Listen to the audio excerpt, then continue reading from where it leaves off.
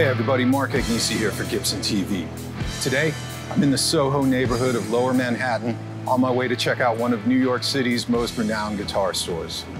Opened in 1978, Rudy's Music specializes in rare and vintage pieces, as well as high-end archtop guitars by some of the world's most foremost builders, acoustics, electric solid bodies. They've even built custom guitars for some of music's biggest stars. And that's why for over 40 years, New Yorkers with discerning taste have always come to Rudy's Music. Let's check it out.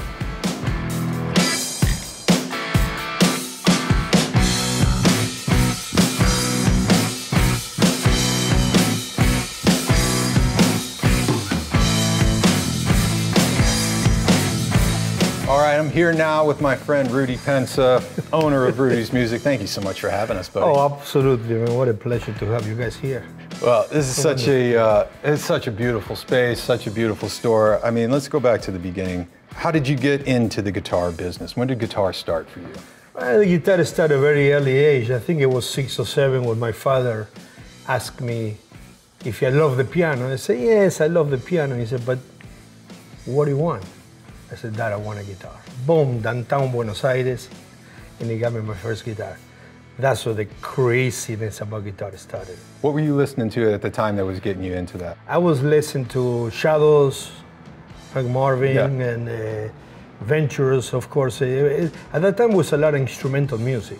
New York City has such a rich musical history and some of the greatest players to ever come out. What ridiculous. what's it like to have been a part of that whole thing? I mean, you're you're a part of Mark, That Mark scene. is unbelievable. I mean, this kid came from uh, Buenos Aires, uh, and I wanted to come here since I was my 15 or 17 or 10 years old, whatever.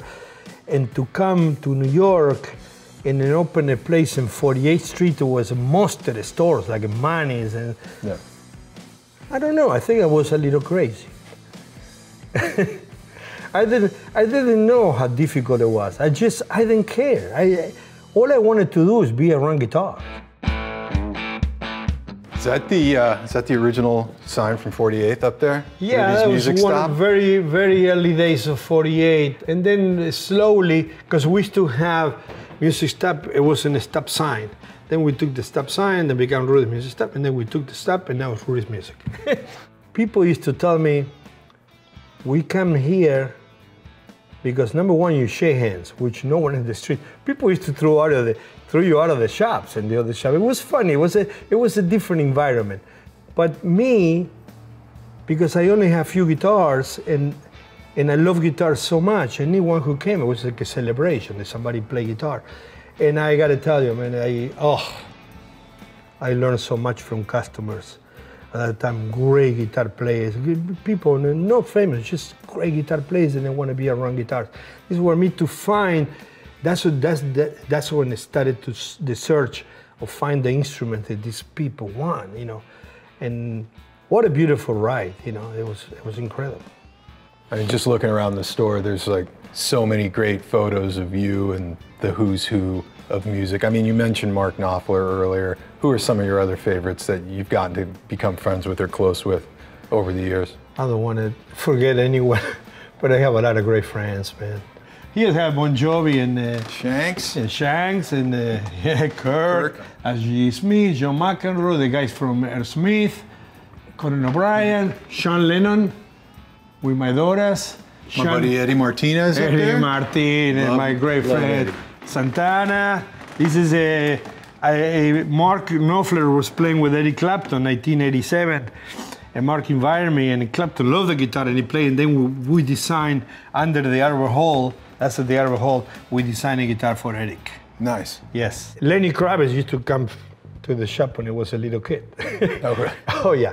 As a matter of fact, when uh, he played in Argentina in a stadium, I said, Lenny, who, what are you playing? Oh, in a stadium. I said, tell me the name of the stadium because I know I'm a soccer.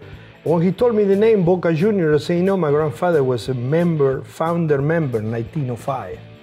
And you're to play there? I got to make your guitar. I wanted to play. Oh, he played in front of 40,000 people, and then he called me and said, His grandfather was a founder member of the club. And I made a guitar with the colors of the, of the team, which is the same color of Ukraine, blue and, and yellow, and he played it. and um, and I donated to the club in memory of my grandfather in 1905. Jimmy Page one time opened the door and I had Super 400. It was 9,000, and he opened the door and said, "Excuse me, that guitar is 900 dollars." I say, "No, Jimmy, it's 9,000." Ah, okay, and he closed it.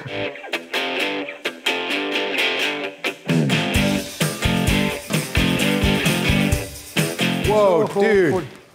Opa! Oh, that original Korina V? Oh, as an original, as a 1958, all original Flying V. Come on. Oh my God! Now it's really flying the V. Whoa! So light, man. Unbelievable. Best guitars ever, man. So is this a 58 All or the- all the- 59? 58. 58? They they made basically they made a they made a lot of 58. I think it- some people say they made it all 58 and then delivered in 59, but uh, all made you know. It's not clear how many they make. Yeah, we know how many we shipped, but we don't know Exactly. Some made. people seven, 80, 100. I don't know. All I know that this baby is all original Korina Wood, unbelievable guitar. And then I went through maybe two or three. No, no more, no more than that. You know, they, they don't appear all the time. You know. Oh, that is, I don't know what is it, five pounds. uh, maybe. maybe, yeah, maybe four and a half, five pounds. No, it's incredible and such a beautiful sounding guitar. Of course, you know Brazilian rosewood. Yes. Just, just beautiful. And think about it, Mark. The guitar is 58. How old is the wood? At that, yeah, probably 50 years old before it was even Exactly. It's more, the, the wood is more than 100 years old. Yeah. A beautiful Korina, no?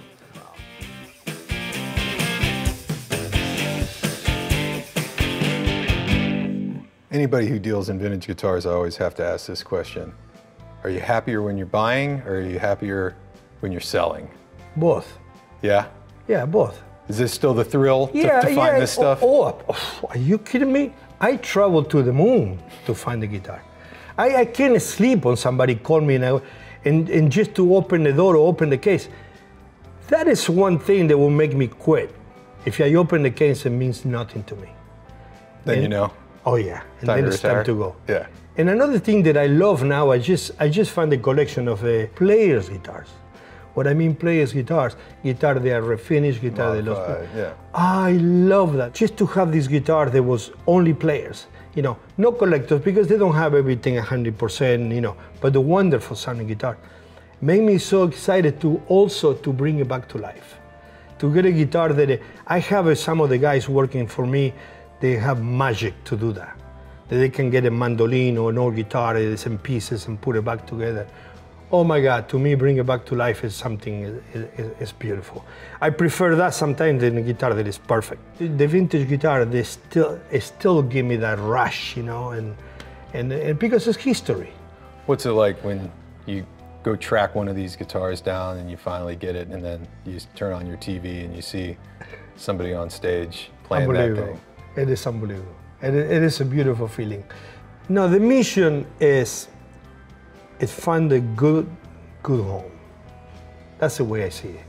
Yeah.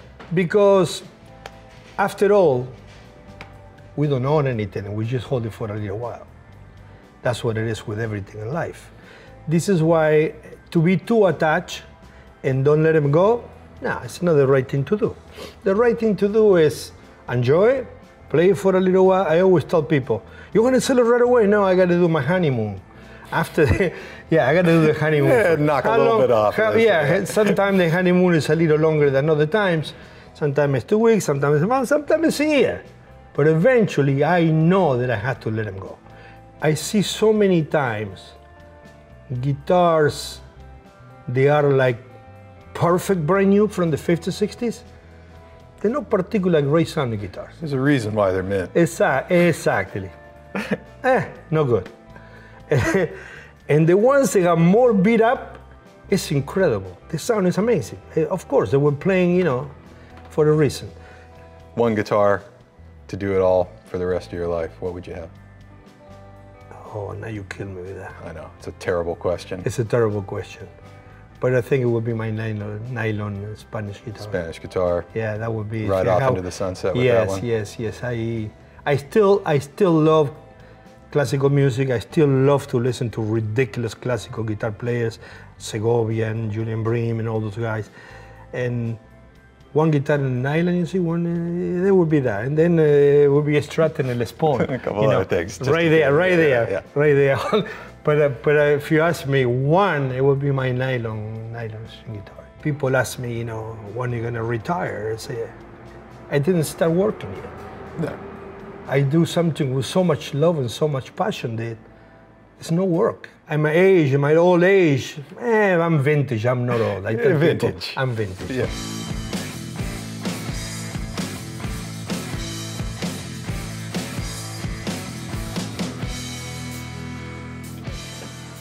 Next time you're in New York, make sure you stop by Rudy's shop here in Soho or check out his new location in Scarsdale or check him out online for his full list of inventory at rudysmusic.com. That does it for me. I'm Mark Agnesi for Gibson TV. I'll see you guys again next time from another iconic music destination on the next episode of The Scene. Peace.